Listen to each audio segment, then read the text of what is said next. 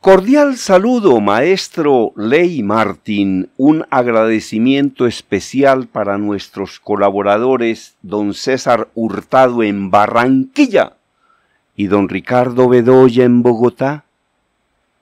Óigame, maestro Ley Martín, todos los días buscando informaciones que le agreguen valor a los oyentes. Porque yo he sostenido siempre que la radio debe acompañar, debe informar, debe distraer, pero que será mucho más completa si enseña. Y mi adicción es enseñar. Mi adicción es aprender y también enseñar. Entonces me he encontrado un artículo supremamente interesante sobre los alimentos y bebidas que pueden afectar el cerebro, según la ciencia. Comer esto en exceso podría causarle problemas de memoria a largo plazo. Las comidas que afectan la circulación tienen altas probabilidades de afectar a su vez el cerebro. Mientras grabo este informe está lloviendo. Si escuchan por ahí el goteo, es porque yo vivo en un cuarto piso y no hay quinto, es decir, que la lluvia cae sobre mi tejado. Eh, cuando éramos niños decíamos que llueva, que llueva, la bruja está en la cueva. Cuando éramos niños hace no muchos años. Las comidas que afectan la circulación tienen altas probabilidades de afectar a su vez el cerebro para explicar cómo afecta la dieta a la salud, eh, se dice popularmente que somos lo que comemos. La idea detrás de esa premisa, alimentarse mal conlleva mayor riesgo de sufrir enfermedades, es aceptada por la comunidad científica en general. Tanto es así que es casi seguro que en un chequeo de rutina el médico pregunte cómo nos hemos estado alimentando. Si bien es imposible catalogar a un alimento como bueno o malo per se, sí se puede estudiar la interacción entre los componentes de la comida con el organismo humano. Una de las relaciones que más interesa a la comunidad científica es la que tiene que ver con la dieta y la dieta con la salud del cerebro, pues este es el responsable de gestionar la actividad del sistema nervioso, incluyendo las capacidades cognitivas, es decir, procesamiento de información, y las motoras. En este contexto, la pregunta no solo es si ciertos alimentos pueden afectar el cerebro, también importa el cómo. Mire, con toda seguridad, con toda seguridad, con absoluta certeza, los alimentos afectan la salud o los alimentos se convierten incluso en medicina. En medicina, los buenos alimentos se convierten prácticamente en medicinas, nos suben los niveles de defensas y nos generan bienestar, nos generan salud. Perdóneme, pero uno no puede estarse alimentando en el almuerzo con paquetes de papas y con gaseosas. ¡Qué pena! ¡Qué pena!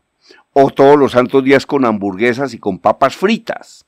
O con perros calientes y con papas fritas y con gaseosas.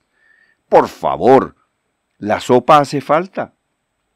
De hecho, personas de tiempos pasados pedían doble sopa con el almuerzo y después un seco, pero ese seco que incluye papa, que incluye carne, que incluye verduras. A mí afortunadamente me encantan las verduras. A mí, por ejemplo, me encanta el sabor de la selga. Me encanta el sabor de las habichuelas, de las habas. Eh, me encanta, por ejemplo, el coliflor, el pimentón, el tomate, la cebolla cabezona, los ajos, todo eso a mí me gusta y me hago unas sopas. ¡mm! Ay, ay, ay, ay, ay, ay, ay.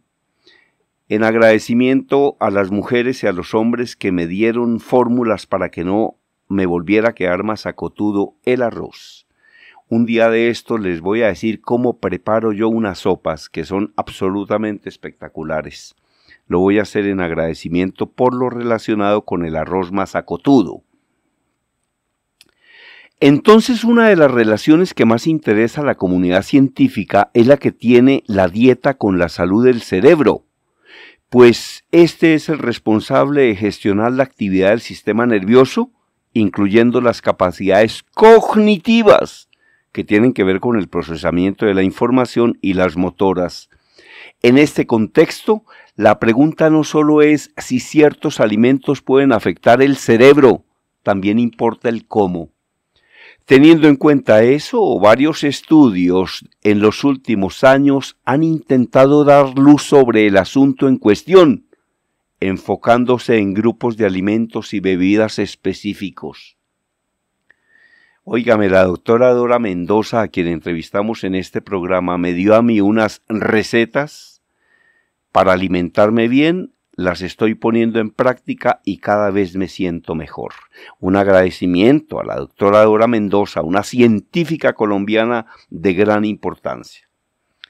Le contamos que se ha encontrado con los tres más representativos, con los tres estudios más representativos, con los tres elementos que consumen las personas que son los que más daño pueden originar. Uno, comida con edulcorantes. Controlar los niveles de glucosa es clave para gozar de buena salud. Esta categoría hace referencia a todos los productos que tienen azúcar artificial integrada, por ejemplo, papas de paquete, gomitas, entre otros procesados, y no a la encontrada naturalmente en los alimentos como la fructuosa. Es decir, estos elementos que endulzan, hay unos que son muy malos y hay otros, como los que se encuentran naturalmente en los alimentos, como la fructuosa, fructosa. Las bebidas endulzadas artificialmente, por ejemplo, podrían aumentar el riesgo de demencia. Escuche, las bebidas endulzadas artificialmente, por ejemplo, podrían aumentar el riesgo de demencia. Así lo sugiere un estudio de enero del 2017 de la revista Stroke y replicado por la Universidad de Harvard. Los endulzantes incluidos en la investigación fueron la sacarina, la sacarina, el acesulfamo potásico y el espartamo, estos dos últimos presentes en la mayoría de las gaseosas, Oiga, el solo hecho de nombrar estos elementos le da a uno como nervios. Se producen nervios. Hace sulfamo potásico y el espartamo. Ya con eso queda uno asustado. Muchas gaseosas suelen endulzarse con sulfamo potásico y espartamo.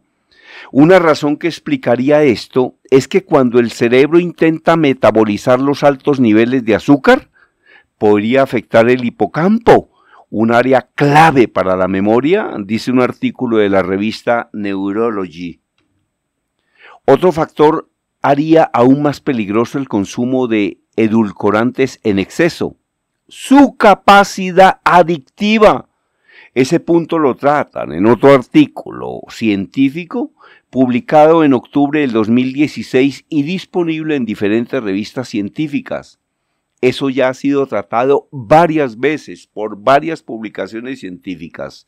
Sus autores encontraron evidencias que soportan que los edulcorantes impactan los mecanismos neuronales involucrados en el mantenimiento de la homeostasis energética. Es decir, el mecanismo que regula qué, cuándo y cuánto comemos, y el procesamiento de la recompensa se lee en la conclusión del documento. Eso, según la investigación, perpetuaría la ingesta de alimentos con edulcorantes. Se vuelven adictivos estos alimentos, hay que tener mucho cuidado. Nada mejor como los jugos naturales, coma mucha fruta, mucha verdura. Por favor, tome mucha agua somos lo que comemos y lo que pensamos. Otro elemento al que hacen referencia estos estudios científicos, las bebidas alcohólicas. El alcohol influye directamente en el metabolismo de la tiamina y de la vitamina B1. El exceso de alcohol, al igual que el de azúcar, podría afectar el hipocampo, en especial en personas mayores de 30 años. Así lo han encontrado diversas investigaciones, incluida una de la revista de BJM en junio del 2017. Según explica en su página web la Facultad de Medicina de la Universidad Francisco de Marroquín de Guatemala, el alcohol afecta el metabolismo de la vitamina B1, clave, absolutamente clave, para suministrar energía al cerebro.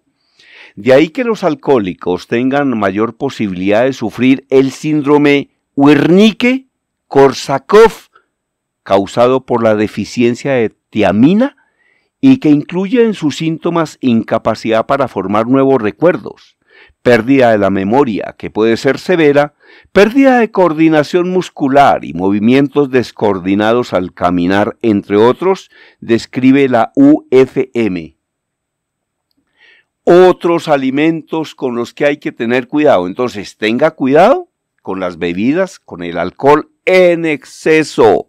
El alcohol en exceso puede causar mucho daño, puede dañar la capacidad de formar nuevos recuerdos, produce pérdida de la memoria, que puede ser severa, pérdida de la coordinación muscular y movimientos descoordinados al caminar. Otro elemento sobre el, sobre el que hay que tener mucho cuidado. La comida alta en grasa y los fritos. La comida rápida es uno de los exponentes de comida alta en grasa saturada. En el 2019, el profesor Nicolás Sherbuin de la Universidad Nacional de Australia, ANU por sus siglas en inglés, publicó un estudio en la revista Frontiers in Neuro Endocrinology, Neuroendocrinology Frontiers, sobre el impacto de un estilo de vida dañino en la salud cerebral. Hemos encontrado pruebas contundentes de que los hábitos alimenticios poco saludables y la falta de ejercicio de las personas durante periodos prolongados de tiempo las ponen en grave riesgo de desarrollar diabetes tipo 2 y disminuciones significativas en la función cerebral como demencia y encogimiento cerebral, explicó el doctor Sherbuin en un artículo de la ANU que resumía los hallazgos. Una de las razones que condujeron a esa conclusión fue que las personas podrían estar consumiendo cada vez más kilocalorías aumentando así el riesgo de sufrir padecimientos asociados a su vez con la neurodegeneración, como la ya mencionada diabetes tipo 2. El problema también radicaría en las grasas saturadas, pues estas aumentan el riesgo de hipertensión. ¿Y cuál es la relación con el cerebro? Este padecimiento afectaría la circulación de la sangre, lo que conduce a un daño isquémico de las regiones de la materia blanca, lo que afectaría la función cognitiva y puede promover el Alzheimer. Se lee en esta publicación científica y en otra que se llama hipertensión y que fueron publicados en el año 2016. Óigame, entonces se puede afectar muchísimo la salud dependiendo de lo que comamos. Reitero mi recomendación. No soy médico, pero tengo sentido común. De la naturaleza, de la tierra a la olla. Mucha comida natural, mucho arroz, mucha papa, mucha mazorca, habas, mucha fruta, mucha verdura, mucha selga a mí me encantan las acelgas, me encanta el repollo, el tomate, la cebolla cabezona, los ajos. Todo eso es importante y beneficia a la salud.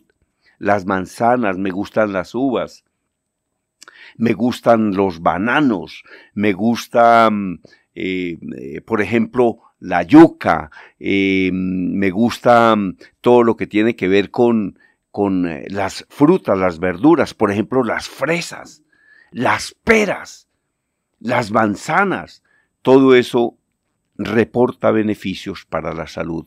A quien desee este artículo con mucho gusto se lo regalo. Me escribe conferencista Germán Díaz hotmail.com.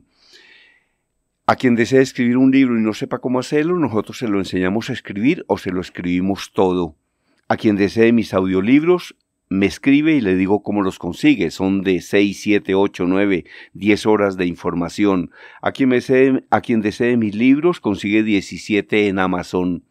Y a quien tenga un escrito y quiera que se lo convirtamos en un ebook, en un libro electrónico o en un podcast o en un audiolibro, yo con mucho gusto se lo grabo, me escribe y le digo qué hay que hacer.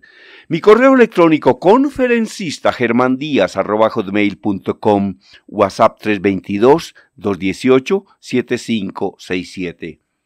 Desde Bogotá, la información la presentó gracias a Dios Germán Díaz Sosa.